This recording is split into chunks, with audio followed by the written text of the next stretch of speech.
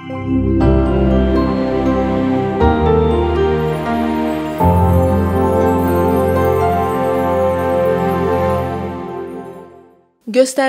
radio. Bu gün dəvət etdiyim qonağı 20 e, dəqiqə ərzində çalışacağam ki, sizə daha fərqli tanıdım. E, cəmiyyətdə yetərincə nüfuz sahibi olan Şahin Həsənli. Xoş gəlmisiniz Çox hacı. sağ olun, minnətdaram. Xoş gördük sizi. Necəsiz? Çox yaxşıyam inşallah. E, ilk əvvəl onu qeyd edim ki, e, bayram namazı, bilirsiniz ki, 2021-ci ilin Ramazan bayram namazı Şuşada məsciddə qılındı, Gövhərağa məscidində. E, istərdim ki, bax bu hisslərdən danışaq. Çünki e, bu özü də gözəllikdir. Ona görə də istərdim ki, elə birinci bu gözəllikdən, bu gözəl hisslərdən başlayaq. Şuşadakı bayram namazı həm tarixi hadisə idi, həm də ki, e, belə deyək, e, əvəz olunmaz bir hisslər yaşatdı bizə. Mən Şuşada olmağı ha, hər bir Azərbaycanlı kimi hər birimiz arzulayırdıq və e, gecə yuxularımızda o məscidlərdə ibadət etməyi görürdük. Gövhər ağa məscidinin ancaq adını eşitmişdi və mən heç vaxt Şuşada olmamışdım. Şuşa doğrudan da insanı özünə çəkən bir şəhərdir. E, təkcə gözəl təbiət mənzərələri yox, həm də bir mənəvi aurası, mənəvi ab-havası olan bir şəhərdir. İnsan o şəhərə getdikdən sonra oradan ayrılmaq istəmir. Və mən bütün Azərbaycan xalqının adından orada bayram namazı mən elə düşünürəm ki, qılırdım. Hər bir evdən insanlar o namaza mənəvi baxımdan qoşulmuşdular və doğrudan da həm böyük bir məsuliyyət hissi idi, heç vaxt həyatda keçirmədiyim həyəcan hissi var idi. Hətta namazda az qalırdı dizlərim bükülsün, o qədər həyəcanlı idim. Baxmayaraq ki, bir çox e, günlərdə namaz qılmışıq məscidlərdə, amma tarixdə, e, yəni həyatımda ümumiyyətlə yaddaşımda həmişəlik iz salınmış bir hadisədir mənim üçün. E, çox böyük bir xoşbəxtlik, qürur hissi keçirmişdim. Həm də ki, qəribə bir kö kövrək hal yaranmışdı. İstər-istəməz Şuşaya daxil olandan, Təbii. oradan çıxana qədər. Məsciddə də ibadət edərkən o hallar e, bir-birini əvəzləyirdi, ziddiyyətli hallar, sevinclə qəm halı bir-birinə qarışmışdı, amma doğrudan da qürur hissi keçirdim. Çox böyük bir nemət hesab edirəm və Allaha şükür edirəm buna görə. Çox şükür. Dünya gözəllik üzərində qurulub da. Yəni ki, doğrudan da dünyanın gözəllik xilas edir edəcək də. Bu həmişə belə olubdu. Bəli. Gözəl bir şeyləri doğrudanmı insan özünə çağıranda gəlir? Bəli, gözəlliyi insan özünə çağıranda gəlir. İnsan seçimdə azaddır. İnsanın bütün üstünlüklər, üstün, üstünlüyü onun seçim azadlığındadır. Yəni insan gözəlliyimi seçəcək, çirkinliyimi bu insanın öz ixtiyarındadır.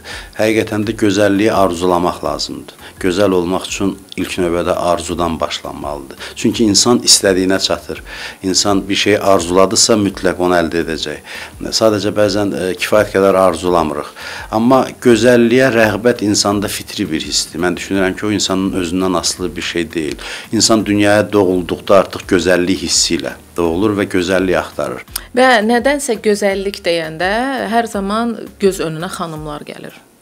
Yəni gözəl və xanım. Bəli, Təbii ki də bəli, bəli. gözəl deyəndə heç kimin ağlına kişi gəlmir, bəli, xanımlar bəli. gəlir. Qədimdən bu günə qədər, yəni sınanılmış bir şey var ki, gözəl xanımlar deyək də, elə bil istədiklərinə daha asan nail olurlar. Razısınız mənimlə? Belədir, belə tamamilə razıyam. Ümumiyyətlə qadın gözəl, gözəlliyi ilə bəlkə də sinonimdir mənim fikrimcə. E, qadın e, gözəl hissləri özündə ehtiva edə bilən bir varlıqdır. Qadın Tanrının yer üzündəki əmanətidir. Bunlar e, elə belə belə deyə söz gəlişi təriflər deyil.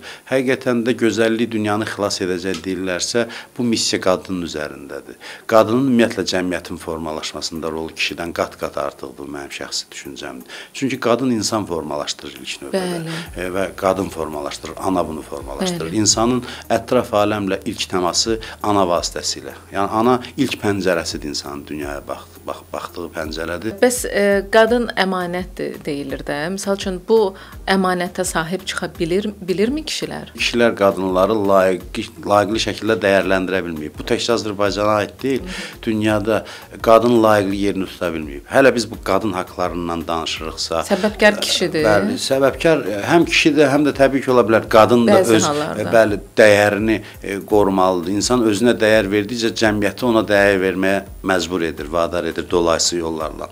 Ona görə də fikirləşirəm ki, bütövlükdə cəmiyyət qadına görə məsuliyyət daşıyır.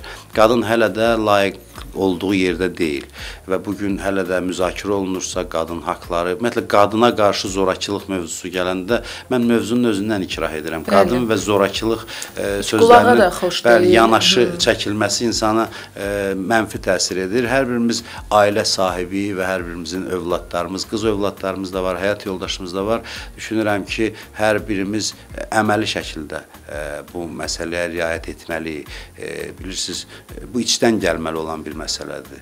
Elə insanlar formalaşdırmalıyıq ki, qadına qarşı hörmətsiz davranışını özünə rəva bilməməlidirlər. Deməli, xanımlar eyni zamanda kişilər var ki, misal üçün cərraha müraciət etməklə özlərində hansısa qüsur bildikləri bir e, yəni orqanı dəyişirlər. Bu səbəbdən də indiki təbii ki, biz qadınlara artıq yaşı da verə bilmirik. Çünki artıq seçmək də olmur, yəni və kifayət qədər investisiya qoyulur bunun üçün. Amma əsas bir məsələ var. Bax, Bir neçə dəqiqədir biz sizinlə söhbət edirik.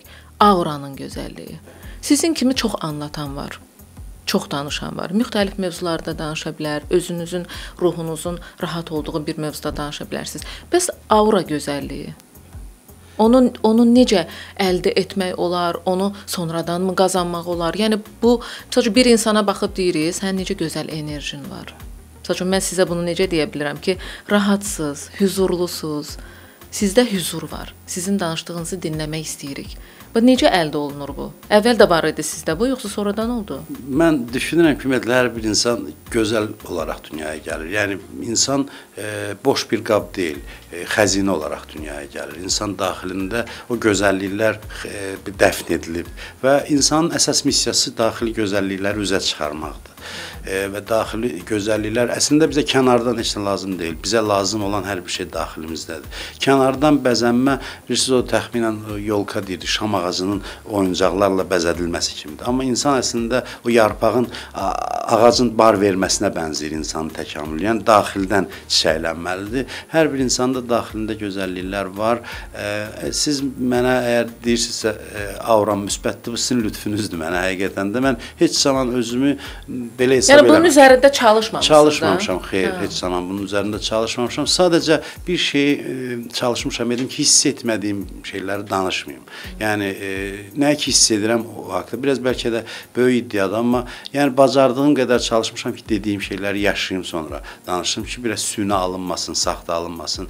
Gülümsəmək, gülmək nə qədər vacib bir şeydir. Məsəl üçün xarici ölkələrə getdiyimizdə böyükdən balacaya gəlib hamımızın danışdığı bir şey olur. Orada hamı bir-birinin üzünə gülür. Yəni demirəm hamı, amma əksəriyyət və səbəbsiz tanışlıqsız, tanıdın, tanımadın, pozitivlik, gülümsəmək, biri birinə dəyir. Mən dəydim kiməsə, amma o fırlanır mənə üzr istəyir.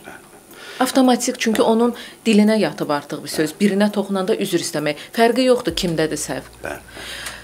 Bəs bizdə niyə demirəm gülümsəməyən insanlarımız daha çoxdur falan, amma var da, bax nəsə var. Bəli. Nədir bizi ona e, saxlayanı, belə deyir ki, belə dur burdaya, belə gülmə. Ən çox tənqid olunan, e, tənqid olunmağa belə deyək də uyğun olan bir mövzuya toxunursunuz. Təəssüf ki, bizdə bir qədər aqressiya çoxdur, qaşqabaq belə ə, acı. Biz səbəb çox... axtarırıq gülmək üçün. Niyə biz səbəb səbəbsiz gülümsəmirik? E, elə ümumiyyətlə səbəb biz məncə insan daim hər an sevinç halında olmalıdır.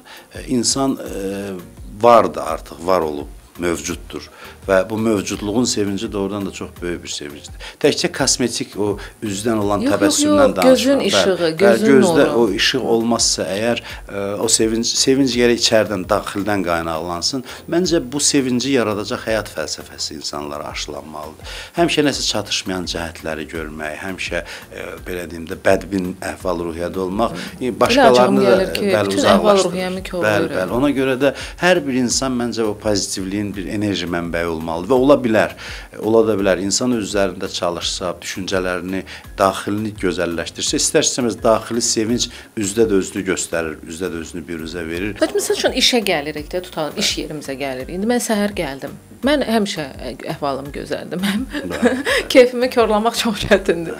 Mən gəlirəm işə. Birinə salam, salam. Amma çox gözəl salam cavabı aldım özümə. Misal üçün, birinə də salam verirsən. Sən nə olub? Nə olub?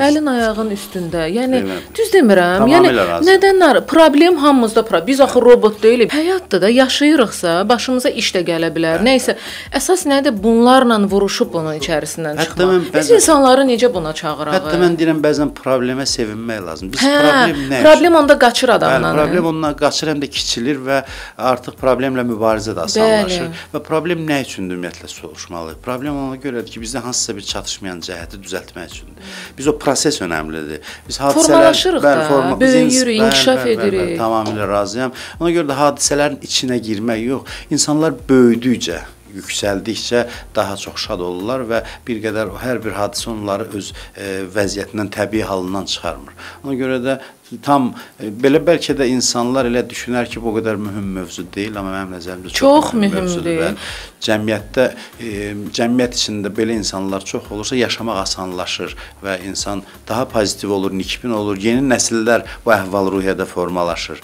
Bütün problemlərlə ailələrdə məncə uşaqlarımızı problemlərlə yanaşı həyatı sevməyi e, Hələ ən acığım gələndə bir şey var. Necəsən? Belə də, belə də nə deməkdir? Yaxşıyam. Bəli. Pisəm, misal üçün biraz başım ağrıyır, biraz narahat. Narahatam sözü inanın daha xoşdur. Nəinki belə də. Belə də nə deməkdir? Tamamilə Bu razıyam. nə necə? Hə, adama deyirlər necə? İnsan həmişə yaxşı ola bilər. Həyatın necə hansı e, şey, axarda inkişaf etməsindən, həyatın axarından asılı olmayaraq insan həmişə pozitiv halda ola bilər və e, bir e, çalışdığım məsələlərdən də biri budur özümün də şəxsən ki, e, ümumiyyətlə insanın öz e, daxili o narahatlıqlarını kiməsə yükləməsi yaxşı bir hal deyil və ümumiyyətlə çalışmaq lazımdır ki, bir çox şeylərə narahat olmayaq ümumiyyətlə. Bilirsiniz, e, bəzən Bir də düşünürəm dərdləşməyi də bacarmaq lazımdır. Səmimi olmalıdır o da. Əlbəttə, Doğrudan səmimi əlbəttə. olmaq. Çünki insanla insan səmimi dərdləşəndə o insanın elə bil problemi daha tez həll olunur. O dərd daha tez, yəni adamla gedir, zəifləyir. Amma səmimi də olmayanda dərdləşmək də yəni E, ona da bir çarə tapılır. Qeyri-səmimi dərdləşmənin səbəblərindən biri də məncə birisi nədir?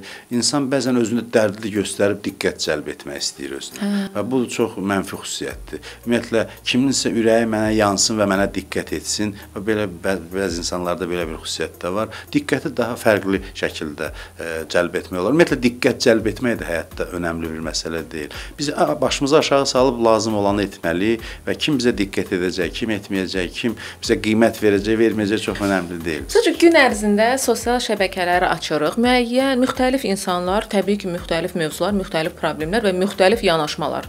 Eyni zamanda gündəlik rastlaşdığımız insanlarla da bunlar baş verir. Bir gün ərzində bir də görürəm ki, günün sonunda məndə o qədər niyə sualı yaranıb. Niyə? Bax nəyəsə baxıram.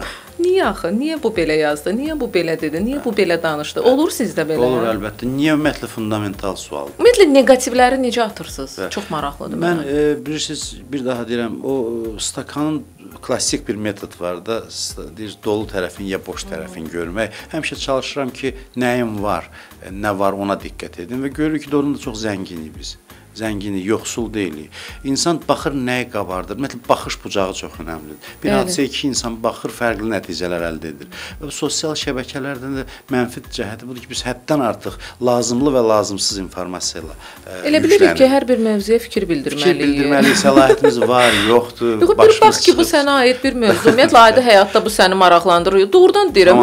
Nəsə o qədər jurnalist dostlarım var Facebookda. Açıram görürəm ki, inanın ki, yazmıram çoxsunu içinə. Çünki mən özümə sual verirəm. Adi həyatda, qonşumuzda bu məsələ olsaydı məni maraqlandıracaqdı? Yox. Bu mənim başım çıxacaq mövzu deyil. Marağında da deyiləm. Ona görə də fikir bildirmirəm, amma ölmürəm də. Yəni sağ ol.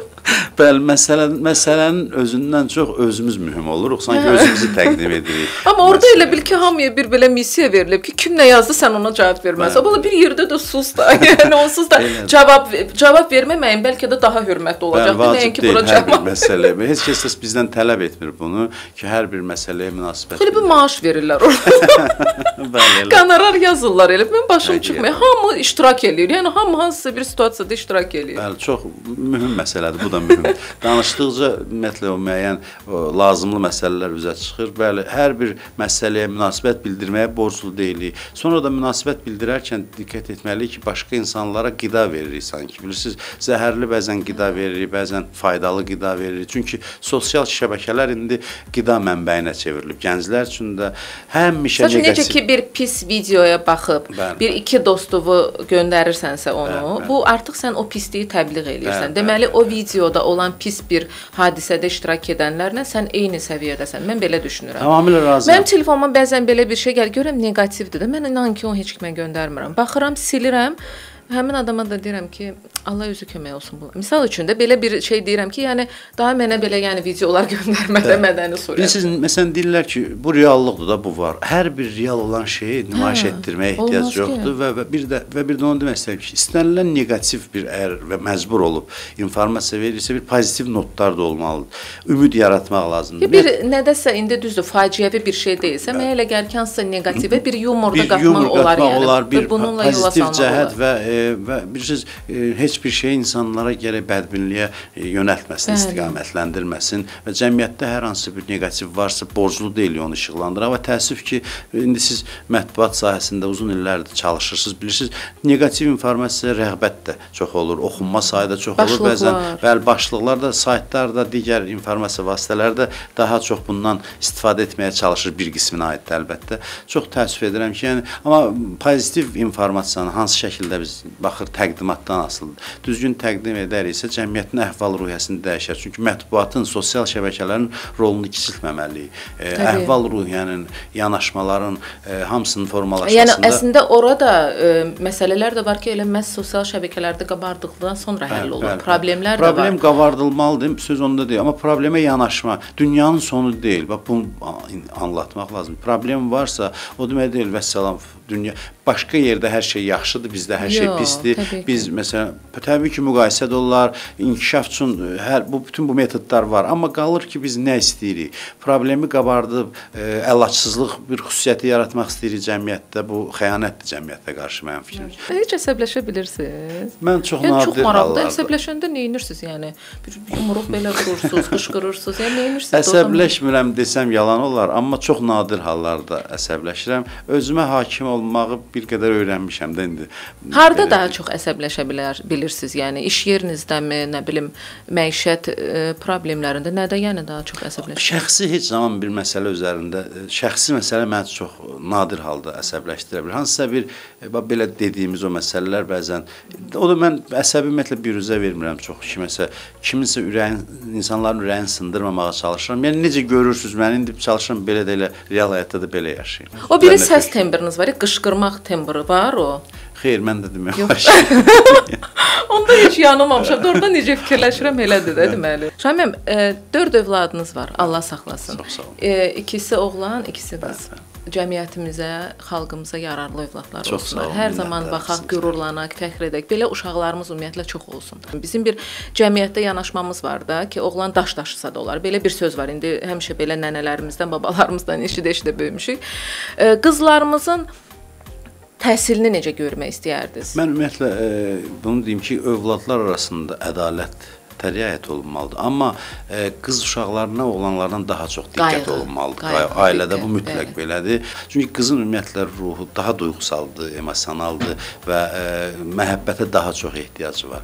Biraz o ailədə biz bəzən Naz. Bəli, Naz bəli, bəli. sözü qızlar üçün, Qızlar xanımlar üçün. üçündür. Bu günümüzün balaca bir qızı dünyaya gələn, sabahımızın da xanımıdır. Tamamilə razıyam. Yəni sevgi ilə ailədə qız uşağı təmin olunmayanda e, cəmiyyətdə sonra üzr istəyirəm ifadəmə görə sevgi dilənçisinə çevrilir. Və bu pis bir şeydir. Bax dediyiniz səbəblər var ya bəzən yersiz narahatlıq, qəm, kədər, o bax biz nədən qaynaqlanır? Çox zaman insan bir kiçik bir e, heç ona aid olmayan insandan da diqqətsizlik görəndə o qədər həssas olur ki, başlayır ona görə narahat olmaq. Bilirsiniz bu nəyə görədir? Adətən ailələr o sevgini verməyəndə insan ailədə tam belə deyək də Böyük sevgi ilə digər ocağa getməlidir. Bəli, getməlidir. O zaman onda başqalarının davranışı ona qarşı o qədər də narahat sevgini də etməyəcək. böyük görəcək də. Tamamilə razı. Orada da tərəziyə qoymayacaq. Yəni Elədir. bizim evdə çox idi, burada az idi, bizim Onu evdə az görsə idi, əgər, burada çoxdur. bəli, bəli, görsə əgər digərlərindən onu dilənməyəcək, onun təmənnasında olmayacaq. Xanımlara həm təhsilin önəmi, həm şəxsiyyət kimi onların çox önəmli olduğu aşılanmalıdır. Mütəxəssislər cəlb olunmalıdır, psixoloqlar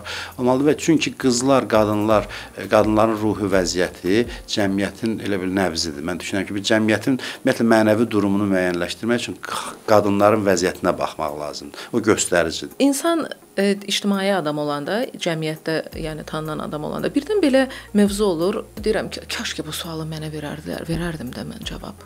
Var belə bir sual özünüzlə bağlı eşitmək istədiyiniz? İndi bu saat xatırlamıram, bax sual verirsən. Amma olub ki, məsələn müsahibədən sonra e, indi də yəqin olacaq. İndi amma hələ yadımda. Hə, hə, kaş ki bu sualı verərdi Elarə. Mən də ona cavab verərdim buna.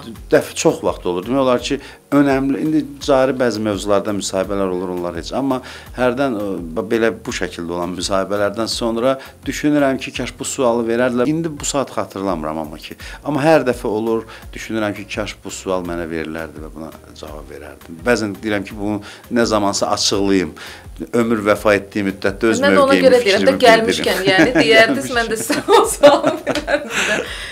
Çox sağ olun. Təşəkkür edirəm gəldiyiniz üçün. E, düşünürəm ki, düzdür, çox işinizlə bağlı danışmadıq, amma ümumi götürəndə bütün mövzulara yenə də ruhunuzla cavab Çox verdiniz. sağ olun. Təşəkkür Bu özü də edirəm gözəl bir şeydir. Çox sağ olun. Mənim auram necə idi Çox bəs? müsbət. Həqiqətən müsbət. Müsbət.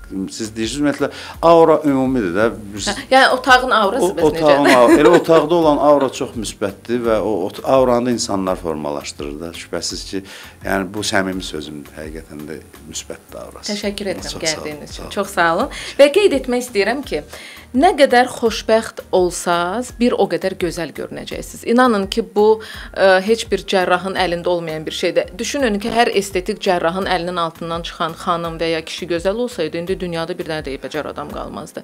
Mən düşünürəm ki, insan özünü ancaq o zaman gözəl edə bilir ki, o xoşbəxt etsin özünü. O xoşbəxtliyi tapın içinizdə, onu çıxardın üzə. Ancaq bu halda gözəl olacaqsınız. Salamat qalın.